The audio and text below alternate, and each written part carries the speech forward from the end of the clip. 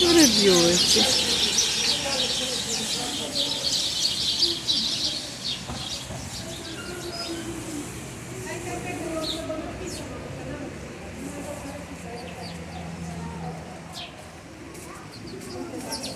Sgribulite le